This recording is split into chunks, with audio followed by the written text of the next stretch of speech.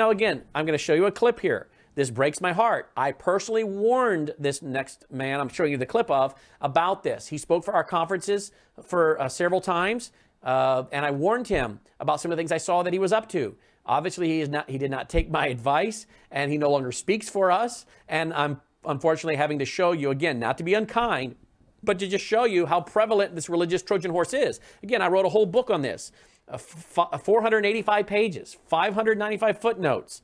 And to make my case that we have a religious Trojan horse that's entered the camp within evangelicalism, I have to show you the evidence, don't I? Which means I need to show you video clips, articles, documentation of major evangelical leaders that are embracing this religious Trojan horse. Otherwise, how can I claim we have a religious Trojan horse, right? I've got to make the case. And one way I think we see this main this mysticism going mainstream is when people start embracing the word of faith movement and the new apostolic reformation, which is fooling around with mysticism, extra biblical revelation, hearing from God, encountering Jesus. And I don't think there's a television network that is more filled with false teachers than Trinity Broadcasting Network. And I'm sad to say, last year, David Jeremiah went on their network and helped them raise money for their share-a-thon. Listen to what David Jeremiah has to say in this clip. I'm so amazed at the vision God has given to this man. And when I see, when I come here and see how he's touched the world with technology so that he can touch the world with the gospel, I want to be a part of helping him continue to do that. I hope you will do that too.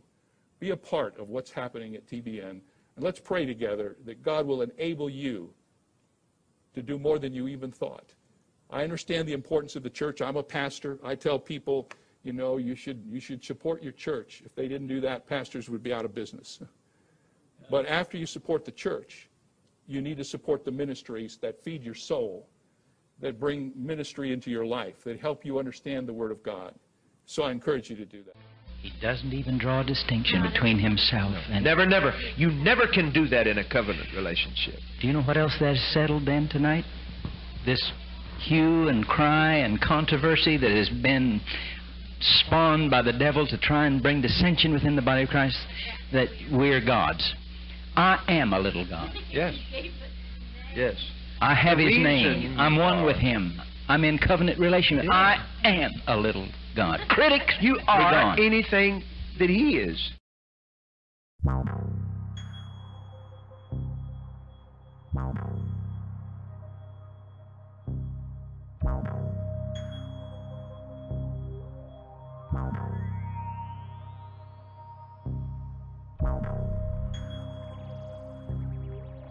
Wow.